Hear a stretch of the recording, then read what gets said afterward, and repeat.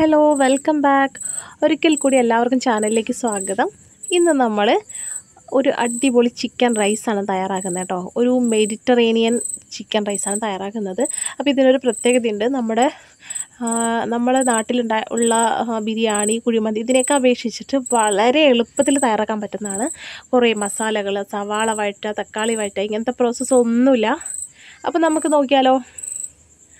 അപ്പോൾ ആദ്യം തന്നെ നമുക്ക് ഒരു പാത്രം എടുക്കുക അതിലേക്ക് ചിക്കൻ കഷ്ണങ്ങൾ വെച്ച് കൊടുക്കുക അപ്പോൾ ഇതിൽ ഏകദേശം ഒരു അറുന്നൂറ് ഗ്രാമോളം ചിക്കൻ ഉണ്ടാവും.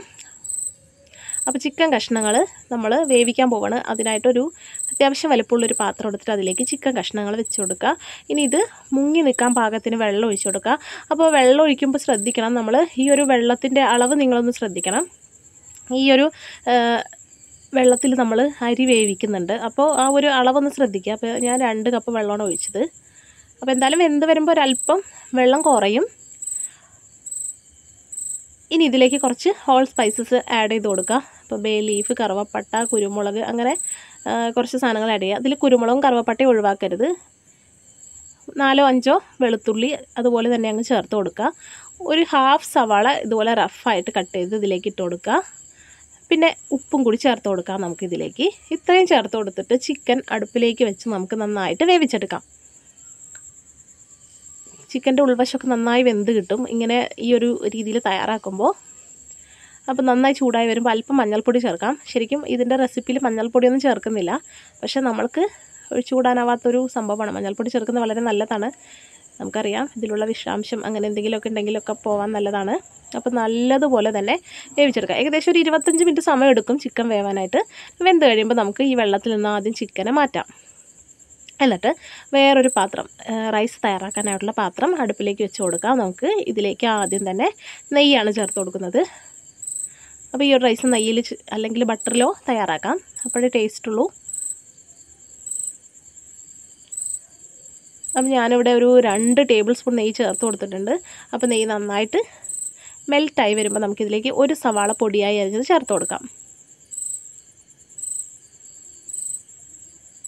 ഇനി ഒന്ന് വഴറ്റിയെടുക്കണം.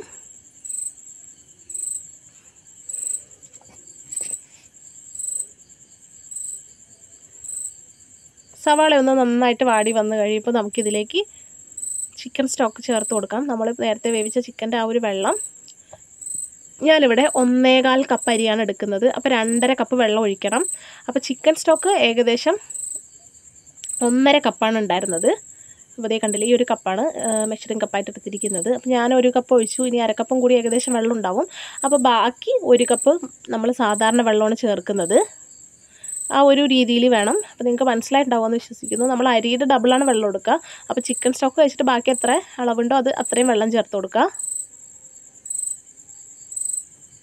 അപ്പോൾ നമ്മൾ ഈ എടുത്ത ചിക്കനിൽ ഒരല്പം കുരുമുളകും മുളക് പൊടിയും ഉപ്പും കൂടി തിരുമ്മി വെച്ചിട്ടുണ്ട്. വേണമെങ്കിൽ ഗരം മസാലയൊക്കെ പുരട്ടിക്കോളൂ. ഞാൻ അതൊന്നും ചെയ്തിട്ടില്ല. കുരുമുളക് പൊടിയാണ് കൂടുതലായിട്ട് എടുത്തിരിക്കുന്നത്.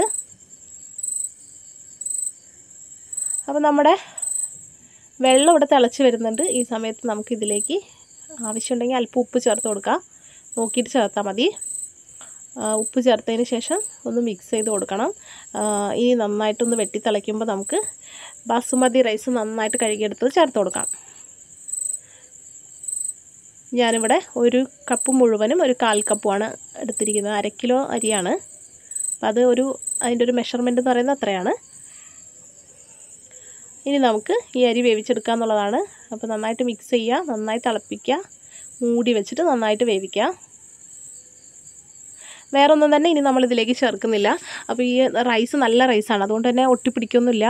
അപ്പോൾ അങ്ങനെയുള്ള ഒട്ടിപ്പിടിക്ക് നിങ്ങൾക്ക് സംശയം തോന്നുകയാണെങ്കിൽ ഒരല്പം ചെറുനാരങ്ങ നീര് ചേർക്കാം. ഇനി മൂടി വെച്ചിട്ട് ഇടയ്ക്ക് ഒന്ന് ഇളക്കി കൊടുക്കാം.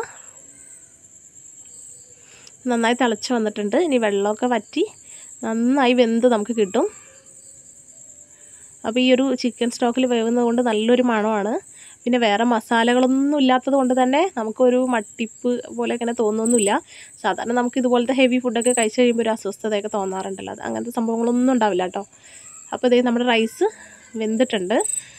ഇനി നമ്മളിതിനെ കൂടി തന്നെ മൂടിയിട്ട് ഒരു സൈഡിലേക്ക് വെക്കാം. അപ്പോൾ നമുക്ക് ആ ഒരു സമയത്ത് ഒരു പാനിലേക്ക് നെയ്യ് ചേർത്ത് കൊടുക്കാം. നെയ്യ് അല്ലെങ്കിൽ ബട്ടർ ചേർത്ത് കൊടുക്കാം. ഒന്നര ടേബിൾ സ്പൂൺ ചേർത്തിട്ടുണ്ട് ഞാൻ. ഇതിലേക്ക് കശുവണ്ടി ചേർത്ത് ഒന്ന് റോസ്റ്റ് ചെയ്യണം. കശുവണ്ടി മുന്തിരി ഇതിലേക്ക് ചേർക്കുന്നുണ്ട് കേട്ടോ. കുറച്ച് അധികം ചേർത്താലും കുഴപ്പമില്ല. ഇത് ഒഴിവാക്കരുത്. കാരണം ഇത് നമ്മൾ ചോറിന്റെ കൂടെ കഴിക്കുമ്പോൾ കടിക്കുമ്പോൾ നല്ലൊരു ടേസ്റ്റാണ് അപ്പോൾ നമ്മൾ മുന്തിരിയും കൂടി ചേർത്തു. അപ്പോൾ ഇത് ആദ്യം റോസ്റ്റ് ചെയ്തിട്ട് മാറ്റി വയ്ക്കാം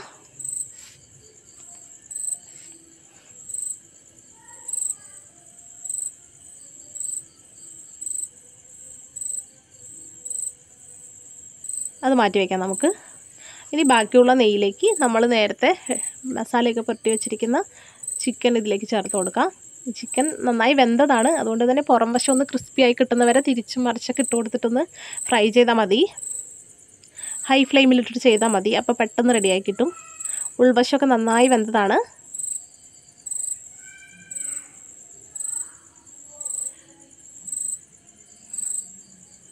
ഹൈ ഫ്ലെയിമിൽ തന്നെ ഇട്ടിട്ട് ചെയ്യുമ്പോൾ പെട്ടെന്ന് പുറം വശം ഒന്ന് മുരിഞ്ഞ് നമുക്ക് കിട്ടും. ഒരു ചുട്ടെടുത്ത ഒരു രീതിയിൽ നമുക്ക് നന്നായിട്ട് ഡ്രൈ ആയി കിട്ടുകയും ചെയ്യും. അപ്പോൾ ഇത്രയും ആയാൽ മതി. ഇനി നമുക്ക് ഫ്ലെയിം ഓഫ് ചെയ്തിട്ട് ഈ ചിക്കൻ ഈ നെയ്യോട് കൂടി തന്നെ ചോറിലേക്ക് ഇട്ട് കൊടുക്കാം. ഈ ഒരു രീതിയിലാണ് സെർവിങ് സെർവ് ചെയ്യുന്നത്. സെർവിങ് ബോട്ടിലേക്ക് മാറ്റുമ്പോൾ ഈ ഒരു രീതിയിലാണ് ചെയ്യുക. ചോറെടുക്കും അതിന്റെ മുകളിലേക്ക് ഇതുപോലെ ചിക്കൻ ചേർത്ത് കൊടുക്കും. പിന്നെ നമ്മൾ വറുത്തെടുത്ത് വെച്ചിരിക്കുന്ന ഈ ഒരു നട്ട്സും റൈസിങ്സും ചേർത്ത് കൊടുക്കും. അപ്പോൾ ഇത്രയേ ഉള്ളൂ നമ്മുടെ മെഡിറ്ററേനിയൻ ചിക്കൻ റൈസ് ഇവിടെ റെഡി ആയിട്ടുണ്ട്. നല്ല ടേസ്റ്റാണ് കേട്ടോ ഇത് പ്രിപ്പയർ ചെയ്യുന്ന സമയത്ത് ഇതിന്റെ രുചി എങ്ങനെ ഉണ്ടാവുമെന്ന് ഡൗട്ട് ഉണ്ടായിരുന്നു. പക്ഷേ സൂപ്പർ ടേസ്റ്റാണ് കഴിക്കാനായിട്ട്. നമ്മൾ മസാലയൊന്നും ഇല്ലെങ്കിലും നമുക്ക് ഒരുപാട് കഴിക്കാൻ പറ്റും. വയറിനും യാതൊരു അസ്വസ്ഥത ഉണ്ടാവില്ല. നമുക്ക് യാതൊരു ബുദ്ധിമുട്ടുണ്ടാവില്ല കാരണം നമ്മൾ ചിക്കനും നല്ല രീതിയിൽ തന്നെ വേവിച്ചെടുക്കുന്നുണ്ട്. അപ്പോൾ എല്ലാവരും ട്രൈ ചെയ്യുക. താങ്ക്